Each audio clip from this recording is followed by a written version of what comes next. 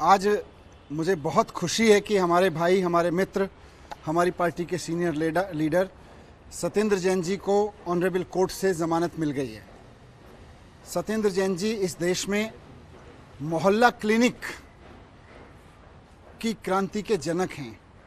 Public health system को, सरकारी health system को, सरकारी लोकल हेल्थ सिस्टम्स को, सरकार के बड़े बड़े हॉस्पिटल्स को कैसे शानदार बनाया जा सकता है?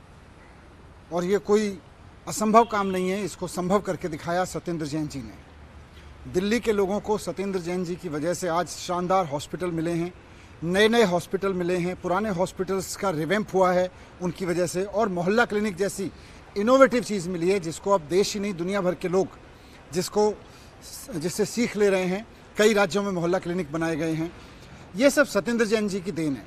सत्येंद्र जैन जी बहुत मेहनत के साथ दिल्ली के लोगों की सेवा कर रहे थे, लेकिन भारतीय जनता पार्टी ने कुचक्र करके, षड्यंत्र करके, क्योंकि उनको डर लग रहा था कि अगर अरविंद केजरीवाल जी की सरकार इसी तरह से दिल्ली के लोगों की स्वास्थ्य सेवाओं को ठीक करती रही तो दिल्ली नहीं, पूरे देश में लोग बीजेपी से भी क्वेश्चन पूछने लगेंगे कि भाई, अगर सत्येंद्र जैन और अरविंद केजरीवाल जी दिल्ली के अस्पतालों को ठीक कर सकते हैं तो आप गुजरात के, उत्तर प्रदेश के अस्पतालों को ठीक क्यों नहीं कर रहे?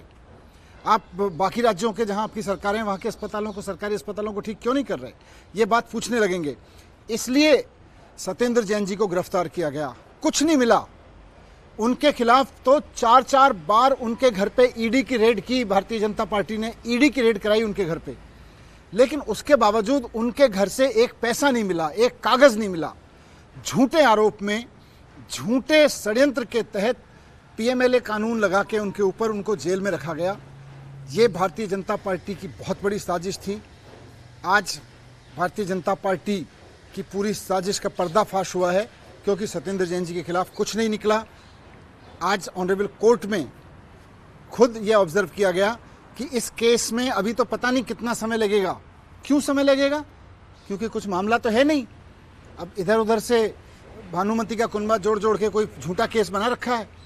तो आज मोदी जी को भारतीय जनता पार्टी को सत्येंद्र जैन जी से माफ़ी मांगनी चाहिए उनके इतने सारे दिन खराब करने के लिए और सिर्फ़ सत्येंद्र जैन जी से नहीं, आज मोदी जी को और भारतीय जनता पार्टी को दिल्ली के लोगों से माफ़ी मांगनी चाहिए क्योंकि सत्येंद्र जैन जी के जेल में जाने से सरकारी अस्पतालों में जो काम इतनी तेज़ी से चल रहा था उसका नुकसान हुआ है।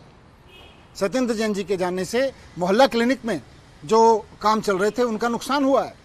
भारतीय जनता पार्टी ने सत्येंद्र जैन जी को जेल में डाला, मुझको जेल में डाला झूठे आरोप लगा के, अरविंद केजरीवाल जी को जेल में डाला, संजय सिंह जी को जेल में डाला, और सब चीज़ों में, सब, इन सब मामलों में एक चीज़ कॉमन है, किसी के यहाँ से कुछ नहीं निकला।